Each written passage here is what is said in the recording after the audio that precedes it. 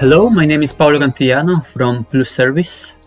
And in the course of what are the customer needs for MaaS, I want to present you the case of Quito under the project Solution Plus. So in this course, we will see the development of the MaaS app. We will start by the brief summary of the transport system in the city of Quito. And also we will see the city needs and how these needs shape the offer from Plus Service to overcome the different barriers that we have faced. A little bit of context, the city of Quito is the capital of Ecuador. Uh, it has around 2 million inhabitants and the public transport system is led by the head called Secretaría de Movilidad, that is a public entity and under its umbrella, there are two main companies, Empresa Pública Metropolitana de Pasajeros de Quito, that runs and operates the public uh, buses system and BRT. Also, there is the Empresa Pública Metropolitana Metro de Quito that soon will start to operate the metro system. The fleet, there are 582 vehicles that runs over 71.4 kilometers of network and daily travel around 745,000 passengers. So under the Project Solution Plus, the city requires a unique platform for integrating different transfer modes, starting by the bus or BRT. Soon there will be integrated also the metro system. But this platform must leave room for next uh, integration, such as a bike sharing schema and also taxis. This platform must offer different functionalities, such as the multimodal travel planner for users to plan the trip from A to B using the different transfer modes. Also, the user has to have infomobility about the lines and bus stops that every line is passing during the trips. This is given by the timetable. But the most important functionalities and what's about this course is about the integration of the payment gateway.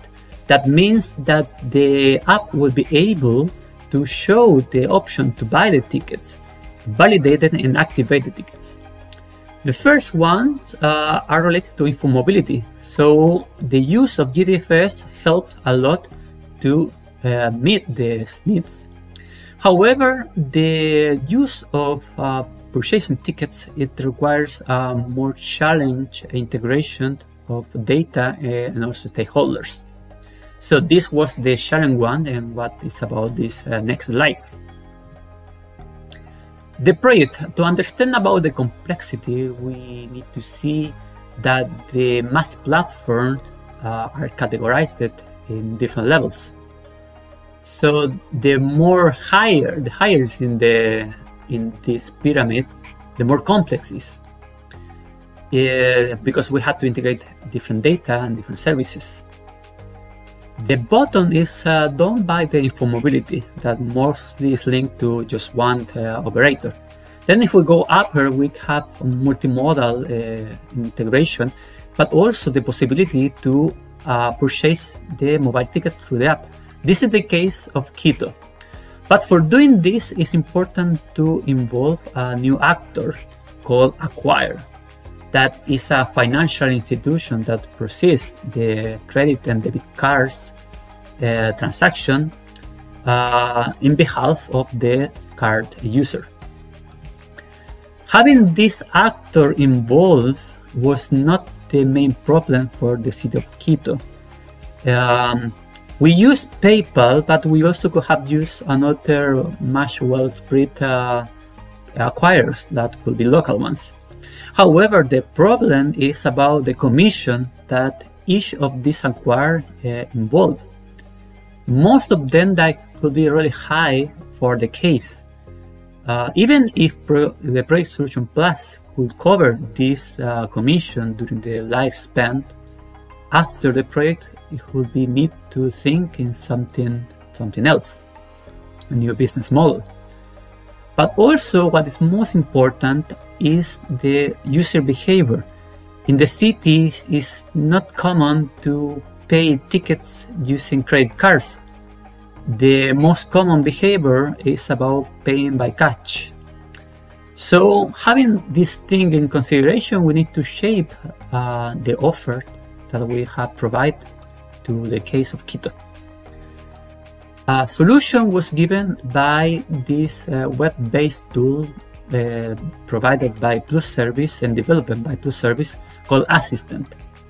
Assistant has the option to register the user within the platform, but what is most important, to top up credit using any method of payment, in this case, the cash. So how it works is a very intuitive web-based tool where the user or the staff the, of the public transport operator will require very basic information from the passenger uh, such as name, um, phone number or email to register the user within the database. After the user is regis registered, the staff can top up the credit into the e-wallet by following two simple steps. Uh, following the, I mean, finding the user and also topping up by one simple button. So the, the flow of this uh, new logic will be this. Let's think in a case of uh, Maria. Maria has downloaded the app, have make uh, an account all by herself, and uh, she wants to buy the tickets. However, she doesn't manage credit cards, she only uses uh, cash. So for doing this, she needs to go to the ticket office, which uh, will be managed with the assistant. So the staff will ask the, the personal data of Maria. She will give maybe her number or her phone number, and the staff will find her within the database. This moment will be the transaction.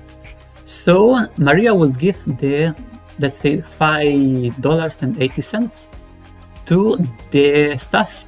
The staff will top up this uh, money using the assistant, and Maria will see immediately this cash or as a credit within the e-wallet. So she will be able to buy as many tickets as she wants. So just for ending this uh, short course, um, it's important to understand the, the role of acquire within the MaaS ecosystem as uh, very important for digitalizing the services, allowing to not only purchase mobile tickets but having credit that will be able to purchase and acquire other different services such as parking or or any other. However, we cannot go faster than the user behavior and user culture.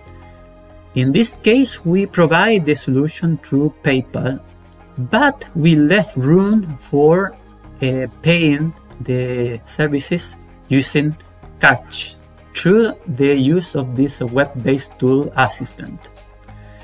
And thinking in further development, uh, we want, as I said, to leave room to include other services such as bike sharing or taxis. And uh, this will allow to have uh, maybe development of new business model through mobile uh, packages that the user will be able to buy credit to travel during the day, a week, or even month using any services that they want.